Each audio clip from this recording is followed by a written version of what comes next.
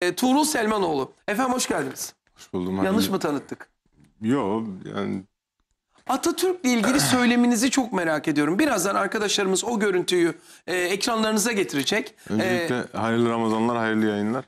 Ya şimdi nefret eden de var yani gerçekten dediğiniz e, doğru. Sevmiyor belki biraz daha e, light bir e, tanım olur. Ama yani bu Türkiye'deki siyasi iklimin e, bir sonucu yani neticede maalesef. E, hani ben mesela gerçekten kişisel olarak karşımdaki insan ne kadar muhalif düşünürse düşünsün. e, bir terör örgütüne iltisaklı olmadığı sürece, işte devletime karşı herhangi bir e, gizli ajandası olmadığı sürece ben onu düşman olarak veya nefret edilecek bir kişi olarak görmem. Muhalif olarak görürüm. Benimle aynı siyasi düşünceyi paylaşmayan bir insan olarak görürüm. Ama maalesef Türkiye'de gerçekten böyle toksik bir e, ortam var siyasi anlamda. E, İnsanları işte zaman zaman böyle nefrete Evet. ondan sonra... Kendisiyle ben iki kez oturdum sevgili seyirciler. Hani siz eğer bugün sosyal medyaya bakarsanız Tuğrul Selmanoğlu hırçın. Tuğrul Selmanoğlu sinirli. Tuğrul Selmanoğlu'nun böyle bir e, kafa var. Sadece böyle olaylara bakıyor. Bakın net söylüyorum inanılmaz demokrat ve Türkiye Cumhuriyeti'nin kurucusu, kurtarıcısı Mustafa Kemal Atatürk'le ilgili öyle şeyler söyledi ki ama işte insanoğlu bazen canlı yayında yanlış anlaşılabiliyor. O görüntüleri ekibimiz şimdi hazırlıyor. Soracağım kendisine. Şimdi eee, dün bir arkadaşımla oturdum. AK Parti'ye oy verdim, vermeyecektim ama tekrar vermeyi düşünüyorum dedi. Peki neden dedim. İnsan aç kalabilir, ekonomik kriz olabilir ama Tahir Sarıkaya dedi, ülkenin güvenliği dedi. Bakın Zelenski dedi, ülkesini ne hale getirdi dedi.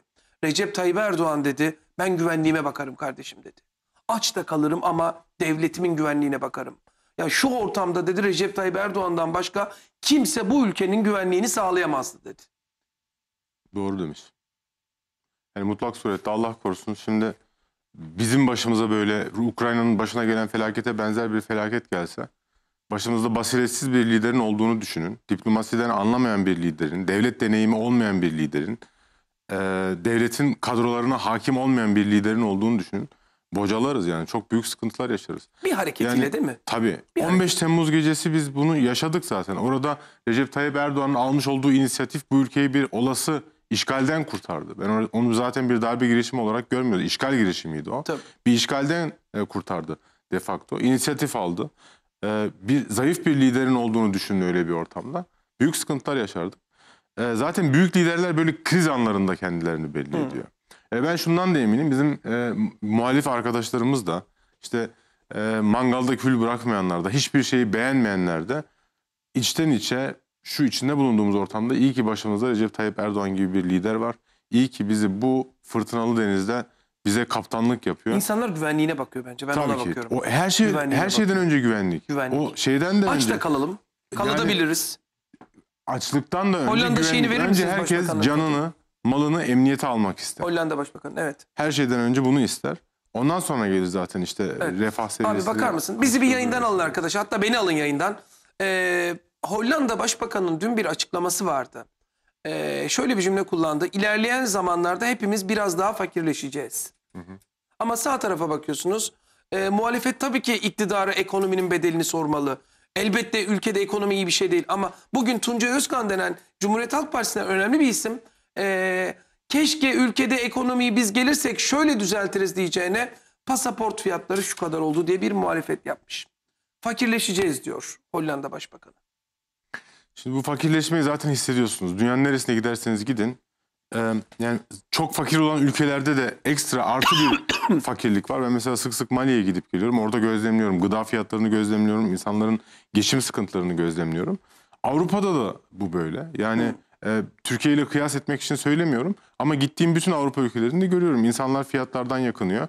Burada enerji fiyatlarının çok büyük bir rolü faktörü var. Çünkü enerji fiyatı öyle bir şey ki işte benzini, petrolü, doğalgazı vesairesi her şeye yansıyor bir şekilde. Çünkü bütün yani üreticinin e, ana kalemlerinden biri e, enerji e, neticede. Evet. O üretilen malın size gelmesi için yolda petrole ihtiyacı var, benzine ihtiyacı var, mazota ihtiyacı var. Orada fiyat arttığı zaman bu da şeye e, fiyatlara yansıyor. Ama şöyle bir durum var. Bu çok enteresan. Özellikle bu pandemi sürecinde pandeminin ilk günlerinde ben bir tweet atmıştım. Dünya ticaretine reset çekiyorlar diye. Hı. Gerçekten de bu reseti şu anda yaşıyoruz. içindeyiz. Ee, para el değiştiriyor. Hı? İnanılmaz zenginleşen insanlar var bu süreçte. Şu son 2-3 yıl içinde inanılmaz derecede gerçekten daha öncesinde orta direk olan veya işte küçük işletmeci olan ama bugün e, devasa servetlere sahip olan çok kısa zamanda insanlar var. Evet. E, bu paralara bu insan bir yer, bu insanlara bu paralar bir yerden gelecek. Orta direkten aktarılıyor. Bu sefer orta direkte alt kategoriye geçmiş oluyor. Evet. Yani bunu hissedilir bir şekilde mesela bundan 3 sene önce Avrupa'da orta direk bugünden daha rahat yaşıyordu. Ve bu trend de Şu bu an şekilde- nedir abi? Mesela Almanya'da yaşıyorsunuz. Almanya'da yani yüzde yüz zamlanmayan her bir kalem bilmiyorum. Değil mi? yani. Ekmek, Her şey, benzin. her şey.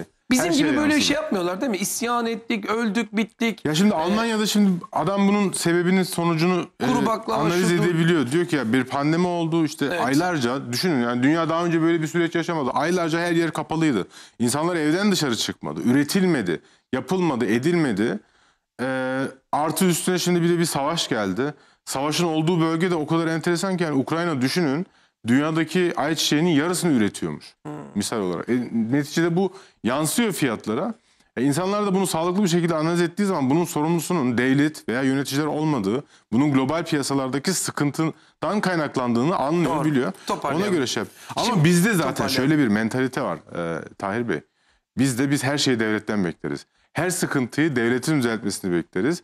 Oluşan her sıkıntıyı da devletten biliriz. Çünkü çok e, Hakkı yok mu vatandaşın devletten beklemeye? Şimdi şöyle baktığınız zaman aslında bu biraz mentalite problemi. Bizim şöyle bir düsturu vardır Osmanlı Devleti'nde. Der ki insanı yaşat ki devlet yaşasın. Bu bundan 300 yıl önce geçerliydi. 400 yıl önce geçerliydi. Çünkü devlet işte seferlere çıkardı, fütuhat yapardı, bir yerleri alırdı. Oradaki oradan elde ettiği geliri vatandaşına dağıtırdı. Evet. İnsanı yaşatırdı. O vatandaş da devleti yaşatırdı. Yani bir bakıma vatandaş devlet sayesinde ayakta kalırdı. Devlet sayesinde geçinirdi. Ama bugün geldiğimiz dünyada bu yürümez. Çünkü artık devletler sanayileşerek, vergi toplayarak e, güçlenirler. Bugün geldiğimiz dünyada devleti yaşat ki insanı yaşatabilsin o devlet Doğru. dememiz lazım. Tamam. Biz vergimizi kaçırırsak, biz her şeyi devletten beklersek, özel sektör girişimlerde bulunmazsa, düzeltmek için kendimiz çaba harcamazsak devletimizi zaafta bırakmış oluruz. Çok iyi, mantıklı. Şimdi tabii hatalar da var, onları da söylememiz lazım. Şimdi şunu soruyorum sana e, Tuğrul Selmanoğlu. E, bir sanatçı siyasete girmeli mi? Siyasi cümleler konuşmalı mı? E, Beren Saat'in görüntülerini hazırlayalım arkadaşlar, rica ediyorum. E, bu konu tartışıldı ve hala tartışılmaya devam ediyor. E, siz ne düşünüyorsunuz? Arkadaşlar KJ'yi de yazalım. E, sanatçının bu da çıkışına. sanatçının da neticede her insan gibi bir siyasi görüşü var. Bu siyasi görüşünü beyan etme hakkı da vardır. Ama e, böyle sanatçı siyasetçi mi? Ya da siyasi konulara değil tabii girmeli ki. mi? Yani Ama şimdi beyan etme hakkı vardır diyorsunuz siz mesela. tabii ki beyan edebilir. Yani neticede insandır. Her insanın bir siyasi görüşü olabilir. Ama bugün t- e, sevenleri var mesela AK Partili sevenleri vardır bir sanatçının. Bu o sanatçının yani diline, üslubuna bakarsınız. Mesela Beren Saat'in yapmış olduğu o keskin çıkış e, bence AK Partili seçmeni rencide etmiştir. Yani bu saatten sonra AK Partili seçmen veya muhafazakar seçmen halen Beren Saat'a prim yaptırıyorsa Kendine o zaman bilir. kendi, kendi bilir. Kendi yani bilir. kendi kendi problemidir, kendi sıkıntısıdır o seçmenin diye düşünüyorum. Neden Çünkü- mesela burada Beren Saat siz izlediniz mi? ya ben çok enteresan buluyorum. Bakın oradaki o eko iklim zirvesi çok önemli bir zirve. Çünkü iklim gerçekten büyük bir sıkıntı. Hayatımızda hissetmeye başladık iklim değişikliğinin sonuçlarını. Bundan iki hafta önce bir metre karın içinde gezdik Mart'ın ortasında Maalesef. İstanbul'da. Evet. Yani ve bu gitgide de artacak. Bunları yaşayacağız. İşte bu global ısınmadır, küresel ısınmadır vesaire. Çok önemli bir konu. Ve bu çok önemli konuda Beren Saat'ın ne alakası var? Yani ben o kadını gördüğümde orada o hanımefendiyi şey dedim ya bu hani Müge Anlı'ya bir adam çıkmıştı eşini aldattığı için çıktı da işte kestane balının diyarı bilmem nereden selamlar diye. O kadar alakasız. Hiç yani alakası. Beren Saat baktığınız zaman neyle gündeme gelir? Beren, Beren Saat işte sarhoş olduğu zaman yolda nara atarak bağırıp çağırıp gezen, magazinlere konu olan, işte yok habire kocasından ayrılan, birleşen, ondan sonra eski sev kocasıyla beraberken eski sevgilisine e, mersiyeler düzdüğü için insanlar tarafından yadırganan böyle bir Çok insan. detaya girmeyelim. Beren Saat'in Yok. de e, söz hakkı vardır. Evet. Yok böyle bir insan neticede bu böyle. Yani Türkiye'deki şahsi kanaatime göre annelerin babaların yüzde doksanının çocuklarına ya sen büyüdüğünde Beren Saat gibi bir insan ol demez. Yani hayatına baktığımız zaman. E şimdi bu kadını almışsınız Eko İklim Zirvesi'nde konuşturuyorsunuz. Toplumun önüne çıkarıyorsunuz. Ve bu kadın orada eline telefonu alıyor. Yani düşünün bu, bu bir aziyet göstergesidir. Konuşurken o kafanızda söylemek istediklerinizi aklınızda tutamayacağını bildiğiniz için telefonunuza yazıyorsunuz ve telefondan okuyorsunuz. Bu kadar. Eleştiremez mi iktidarı? Eleştirebilir tabii ki. Ama Neden toplum mühendisliği yapmaya kalkışıyor. Abuk subuk, He. Abuk subuk e, örnekler vererek ya bilimde teknolojide geriye gitmişiz. Geçen Hakan Ural bahsetti şeyinde e, yayınında. Onu da Evet. linç ettiler. Dedi ki Hakan "Sen- Ural'ı mahvettiler ya. senin dedi Hakan Ural'ı mahvedemezler. Mahvettiklerini zannederler. Hakan Ural'ın Hakan Ural'ın çok ciddi bir kitlesi var. Ee, arkasında sessizce duran, Hakan abi arkandayız diyen çok ciddi bir Ciddi muhafazakar muhafazakar kesim var. kitle var. Ben biliyorum onun sosyal medyadaki karşılığını görüyorum. Ee, karşı tarafında ona karşı olan nefretin asıl aslında sebebi kendi mahallelerinden mahallelerinden çıkmış olması. Onların ciğerini bilmesi, onların bu ülkeye dair kaygılarının samimiyetsizliğini bilmesinden kaynaklanıyor. Şimdi e, Beren Saat'ın o çıkışında düşünün yani telefondan alıyor okuyor ve toplum mühendisliği yapmaya kalkıyor. Vermiş olduğu örnek işte bilimde teknolojide geriye gittik. Ya 2000 öncesi ilk 500'e giren kaç tane Türk üniversitesi vardı? Bu, bu iktidar döneminde ilk 500'e zaman zaman bizim 10-11 üniversitemiz girdi. Giriyor. Kendi Bilkent'i de Biliyorum. e, Bilkent okumuş kendisi, olduğu tabii. Bilkent'te buna dahil. Yani e, bi- bir teknofest e, nesli var. İnanılmaz teknolojik atılımlar yapılıyor Türkiye'de yani. Bugün- Ona ayrı gireriz. O konuya ayrı gireriz. Ayrı değil. Şimdi bu çok bağlantılı bir konu. Geçen işte diyor ki teknolojide bilimde geriye gittik. Ya biz 90'larda atom enerjisiyle mi, nükleer enerjiyle mi uğraşıyorduk? Neyle uğraşıyorduk? 80'lerde 90'larda yayın yapan üniversitemiz yoktu doğru dürüst. Türkiye bu anlamda ciddi bir atılım yaptı. Ondan sonra alıyor işi tesettüre bağlıyor. Biz diyor bir şey dediğimiz zaman da yol, Yol yaptı köprü. Diyor. O da hata. Hayır kim kime yol yaptı köprü ama yol yaptı köprü yaptı demiş.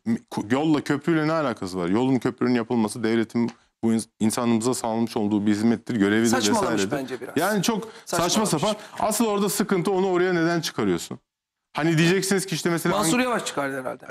e, diyeceksiniz ki mesela Angelina Jolie de Amerika'da böyle bir sivil toplum meseleleri olduğu zaman ama An- Angelina Jolie sanatçı kimliğinin yanı sıra bir de aktivist kimliği var. Mülteci alanlarına gidiyor, şuraya gidiyor, buraya gidiyor. Ciddi bir eforsa Beren Saat ne yapmış yani? Parti çıkışlarında demeç vermekten başka ne yapmış? Ki toplum Yok mühendisliğine filmleri güzeldi ama Beren Saat. Ya filmleri güzel oldu ama Eskiden- ya bakın o kadar trajikomik oyuncudur ki ama yakışmadı. şeyden bahsediyor. Kadına şiddetten bahsediyor, şundan bahsediyor. Ya kardeşim senin yıllardır oynamış olduğun dizilerde kadına şiddet var. Tecavüz var, taciz var, kadının aşağılanması var, her şey var. Ama Bunlar- onu onu yapsın onu Ha, yazıyorlar ama bir dakika senaristler oynama yazıyor. kardeşim. de Ha, ki ben, oynamayabilir ben, diyorsunuz. ben oynamam bunu de yani. Ben burada bu ezik kadın rolünü oynamam. Peki bak, senle şu Bunu- konuda Çünkü anlaşamıyoruz. negatif örnek teşkil ediyor bu Bak, diziler. Şimdi Tuğrul Selmanoğlu senle şu konuda anlaşamıyoruz. Sen diyorsun ki e, sanatçı görüşünü söyleyebilir diyorsun. Tabii ki. Kadın görüşünü söylüyor. Ama diyorsunuz ki saçmalamış. Ne alaka? Hayır şimdi şöyle bakın. Bu görüşünü söylerken karşısındaki kitleyi rencide etmeyecek.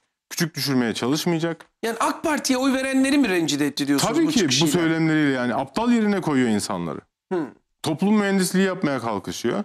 Yani sanatçı görüşünü beyan eder ama böyle keskin bir şekilde net bir tavır alarak bir tarafta e, durması yanlıştır. Neticede sanatçı dediğiniz kişi topluma mal olmuş insandır.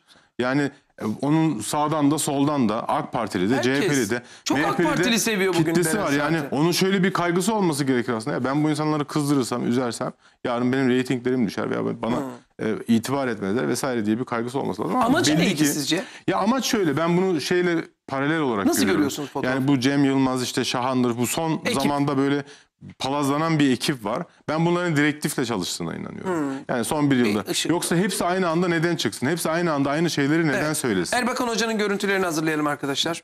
Şimdi Atatürk yaşasaydı şu partide olurdu. Atatürk yaşasaydı AK Parti'ye kızardı. Atatürk yaşasaydı Erdoğan'a böyle yapardı. Erbakan yaşasaydı CHP'li olurdu. Ben güldüm. ya bunu söyleyen de Erbakan'ın kurduğu bir partinin genel başkanı. Söz sizde.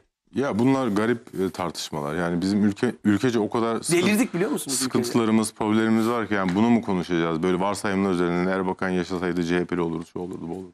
Erbakan'ın hayatı boyunca ortaya koymuş olduğu siyasi çizgi aslında Cumhuriyet Halk Partisi'nin bütün siyasi kimliğiyle, çizgisiyle, vizyonuyla, misyonuyla taban tabana zıt.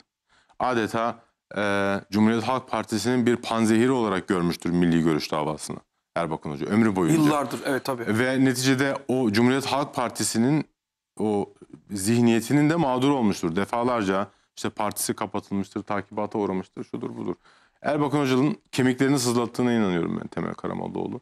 Unutmayın Erbakan Hoca da çok keskin muhalefet yaptı AK Parti'ye. Eleştirdi. Evet. e, Son dönemde ama. zaman zaman yok son döneminde de AK Tabii. Parti'nin kuruluş döneminde de zaman zamanda da e, ya bu kadar da olur mu hocam dedirtti bize. Ama AK Parti'yi hiçbir zaman Cumhuriyet Halk Partisi'ne ezdirmedi Erbakan Hoca. Hiçbir zaman, Hmm. hiçbir demecinde Cumhuriyet Halk Partisi'ni AK Parti'nin üstüne koymadı. Her zaman onlar bizim kardeşlerimiz, evlatlarımız dedi.